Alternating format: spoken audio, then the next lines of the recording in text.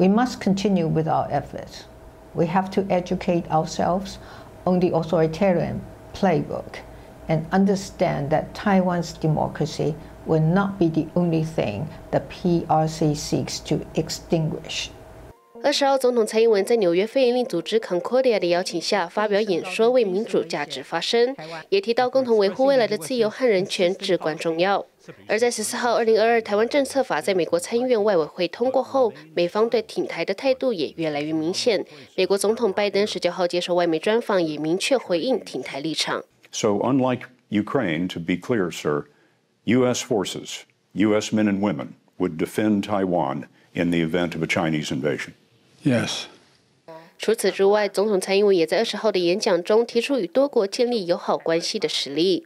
We should also strengthen our partnerships and defend one another.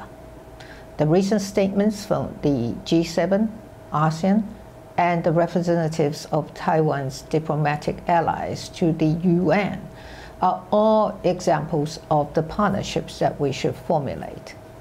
总统蔡英文也强调，即使台湾不是联合国会员国，但在 COVID-19 疫情肆虐之际，仍与世界各国朋友分享 COVID-19 病毒的相关资讯，并解决危机。也提到，若将台湾纳入联合国体系，能更加紧密合作，应应未来的挑战。